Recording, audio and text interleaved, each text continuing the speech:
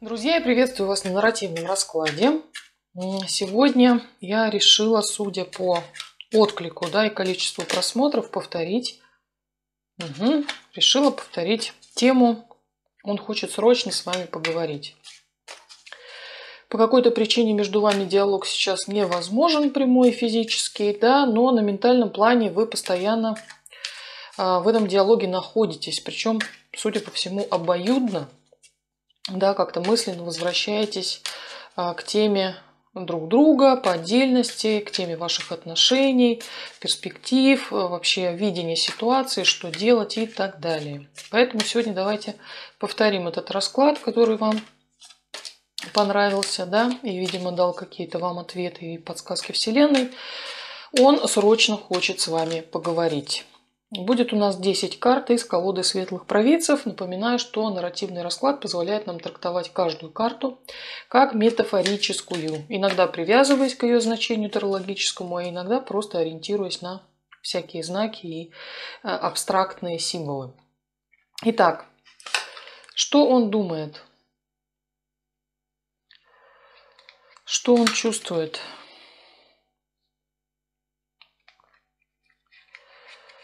Что он собирается делать? Мы берем обозримое будущее. Видит ли он с вами будущее? Рад ли он, что встретил вас на своем жизненном пути? Что он вам хочет предложить? Что он хочет вам объяснить?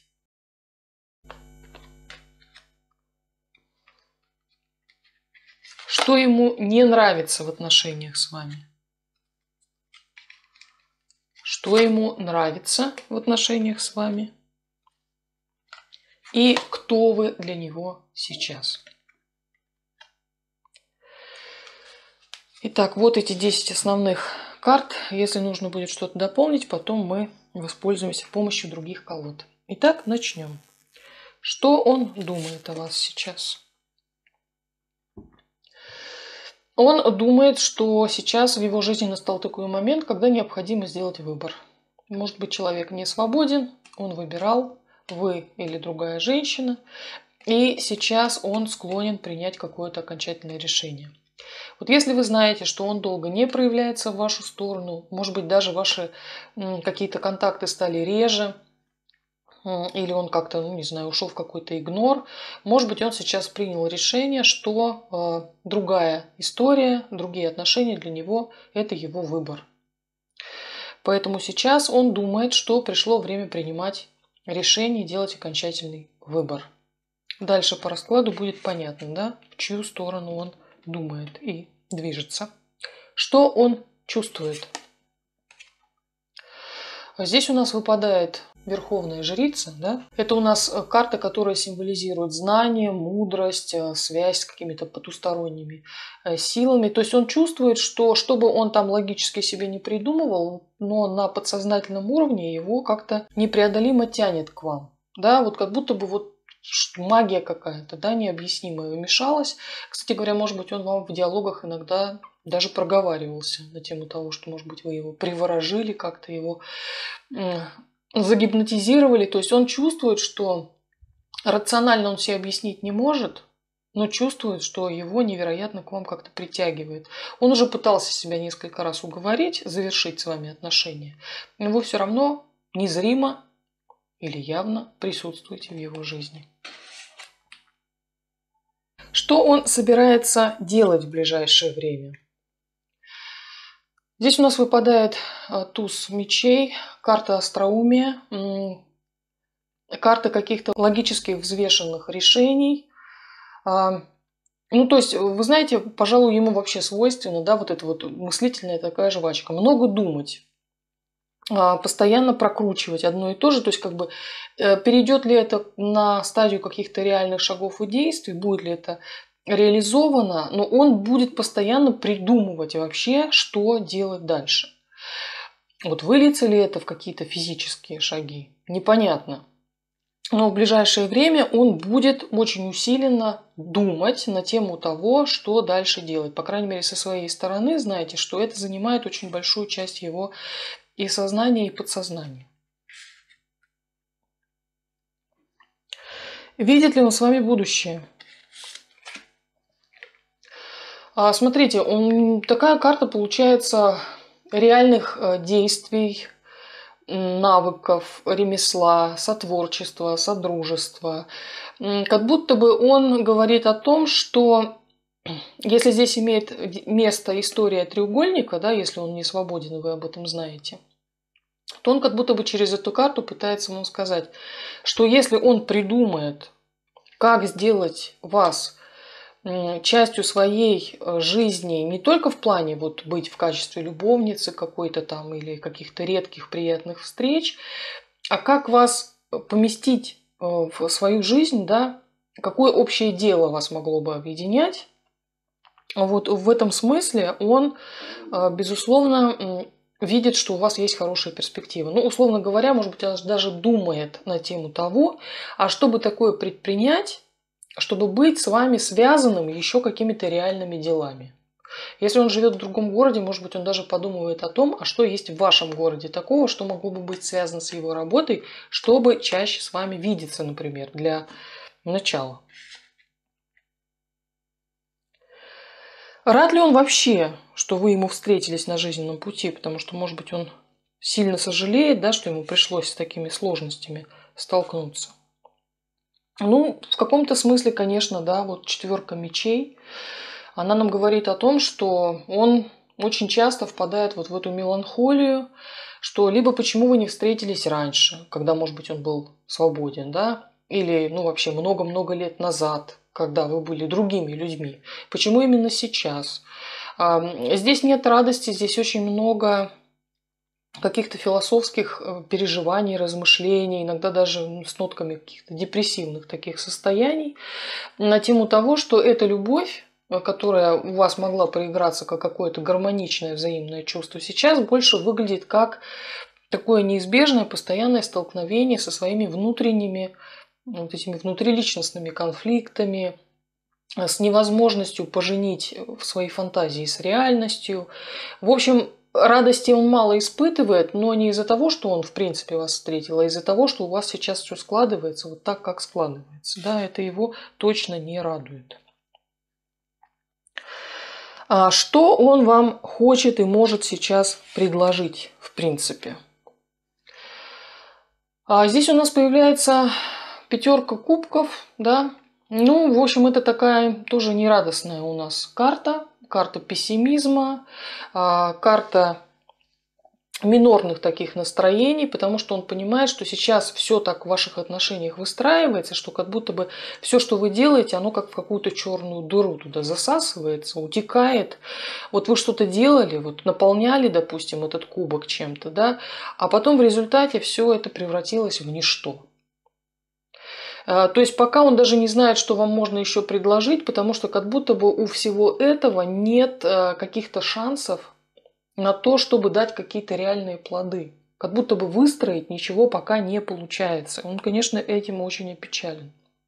И в плане предложений в ближайшее время, может быть, не стоит ждать каких-то активных проявлений, потому что ему кажется, что вот тут налицо тщетность усилий. Что он хочет вам объяснить? Ну, здесь у нас, естественно, выпадает туз кубков, что несмотря на всю ту неразбериху, а, все вот эти неурядицы, а, невозможность вашего нормального общения, его сердце переполнено самыми яркими, сильными чувствами, эмоциями по отношению к вам. Он, безусловно, влюблен, переполнен этими эмоциями. Может быть, ему вообще не свойственно сталкиваться с чувствами такой силы, да, может быть, его, собственно, и это тоже еще повергает в какие-то печальные мысли, потому что чувств очень много, но как сделать это частью своей реальной жизни, он пока не вполне понимает. Но э, любовь, э, какие-то очень теплые человеческие такие чувства, может быть, и дружественные, и даже родственные в вашу сторону, безусловно, э, у него есть. Это он хочет вам объяснить, что не смотрите, что все оно так складывается. А все это не мешает ему продолжать к вам относиться очень тепло. Что ему больше всего не нравится в ваших отношениях? Ну, конечно, ему не нравится, что вы находитесь очень далеко. Отшельник, да, у нас карта, карта интроспекции. Что вы не можете быть в диалоге, не можете быть в контакте. Каждый э, где-то находится у себя, каждый является периферией жизни другого человека, где-то на отшибе, очень дистанцированно, отдаленно холодно. Каждый себе что-то про эти отношения придумывает, но насколько это является частью реальности, у вас нет возможности проверить, потому что вы не в контакте, не в диалоге. То есть вы сейчас э, отдалились. И вот этот отшельник, он символизирует как раз то, что ему больше всего не нравится, что он не может э, к вам приблизиться. Что же, напротив, ему больше всего нравится в ваших нынешних отношениях? Ну, а нравится ему семерка пентаклей, да, а, ему нравится, что даже то небольшое, что вы уже вместе проделали, да, а, та часть отношений, которая уже стала частью реальности, она взрастила в нем какое-то новое ощущение. Может быть, даже новое отношение к самому себе. Может быть, он в чем-то понял, что он поменялся. Может быть, он в чем-то посмотрел на свою жизнь иначе. Может быть, вообще благодаря а, тем отношениям, которые у вас уже были, да, может быть, даже редкие встречи, они как-то так а, поменяли его отношение к текущей, вот настоящей жизни, что это позволило ему с какой-то большей уверенностью, с большим оптимизмом смотреть в будущее. Может быть, раньше он, даже буквально, да, эту карту прочитаем, может, он раньше был убежденный child-free например, да, и вообще не видел смысл, зачем это продолжение рода, зачем простить детей, зачем это вообще ну, заботиться о том, чтобы твой род э, не остановился на тебе, да, и на этом все закончилось. И сейчас он вдруг как будто бы почувствовал, что это не лишено какого-то смысла, какой-то значимости лично для него. Это ему нравится, безусловно. Вы как будто бы вдохнули новую жизнь.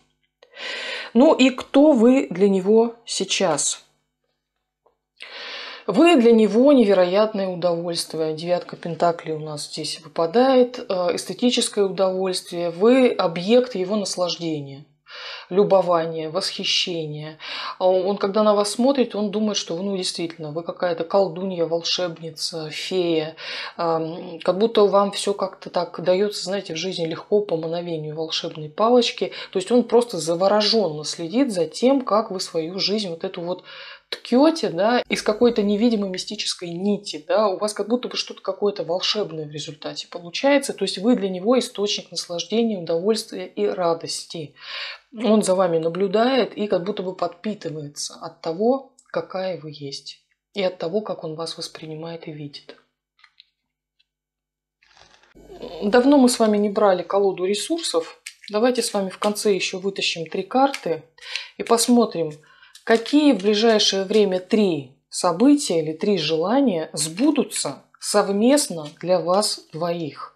Что у вас в ближайшем будущем получится осуществить вместе, как паре, в любом статусе, неважно, в статусе редких встреч, дружбы, свиданий, но что станет частью вашей совместной жизни в отношениях в ближайшее время. Слушайте, в любом случае, да, это может быть посещение какой-то игры. Игры как спортивного мероприятия, может быть, это будет какой-то интеллектуальный квиз. А, это будет какое-то захватывающее соревнование, которое вы посетите вместе. Как это произойдет, пока не наша забота, да, ну, то есть будущее нам в ближайшее время раскроет эти карты, но в ближайшее время вы станете участниками какого-то общего совместного зрелища. Что еще в вашей жизни сбудется в ближайшее время?